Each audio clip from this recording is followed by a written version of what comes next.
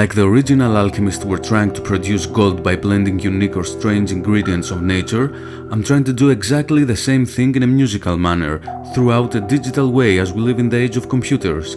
The alchemy of sounds and styles in order to filter them and produce a unique result.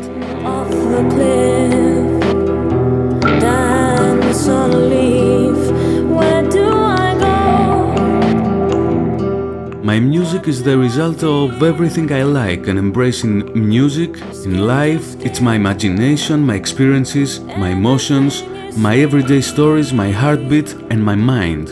The longest way, the longest way to cross the fields, sun stars.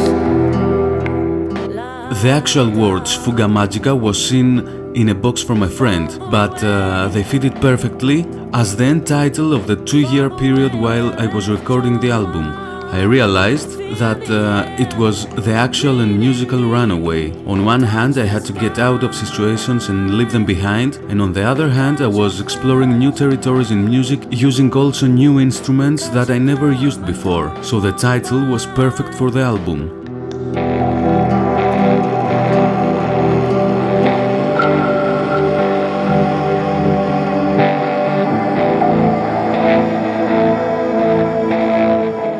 It must include everything or maybe absolutely nothing. It's up to each musician's hands to show or hide what he or she wants. Music is a trip, and the perfect album, I guess, must be starting from somewhere, and song by song, it should reveal this musical journey till the end of it.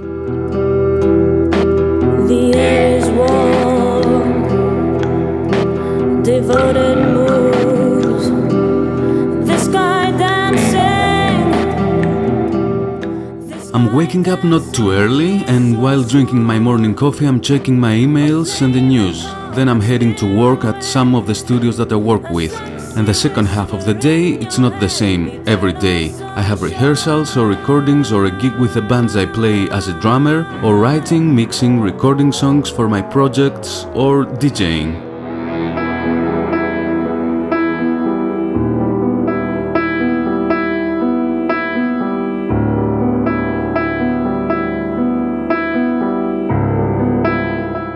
I guess my first release on Mole Listening Pearls, the 12 inch right version left, which reached number 4 in the DCC charts and made my name as a producer better known out of the borders of Greece.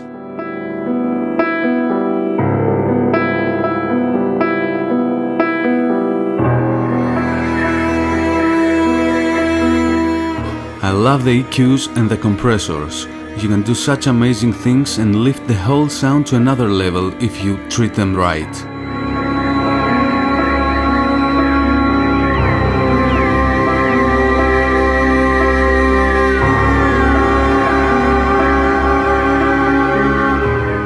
A whole bunch of singers. To name just a few, Sia, Tina Dico, the Brazilian singer Céu, Ali Harter, Jose Gonzalez,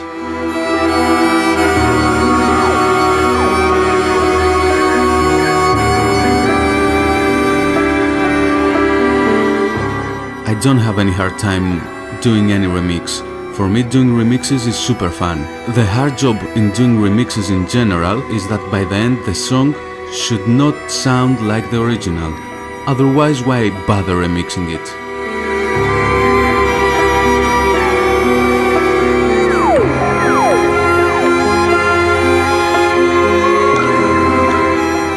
Not much. I renew the albums every now and then and I prefer listening to music in a good quality sound system.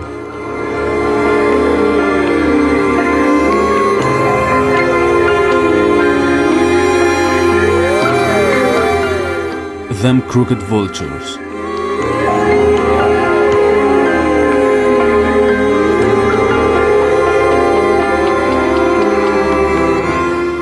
I guess I am addicted in one way or another, and I feed that addiction by writing music, playing, listening, and buying records. I enjoy that a lot.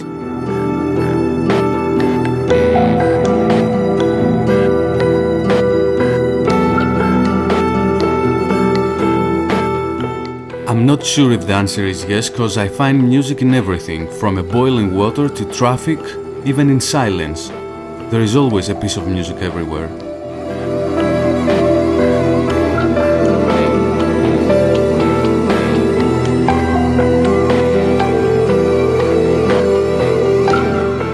I have a lot of hobbies that has to do with music, but except that I like watching movies and documentaries, going to concerts, watching motorsports, having good nights out and in with friends, the regular stuff.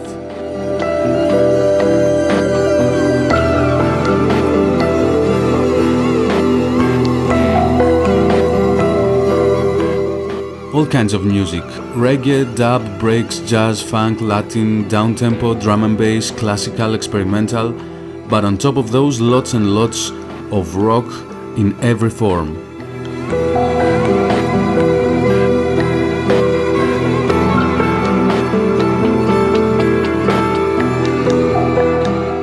I don't know what's gonna be the future of dance music.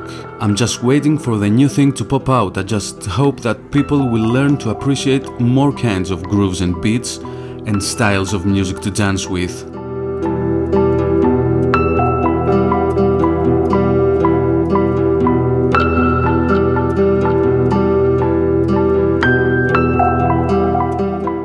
Internet is an amazing thing, but also it can be a notorious one. It's just the new form of communication, like um, it's just how you use it.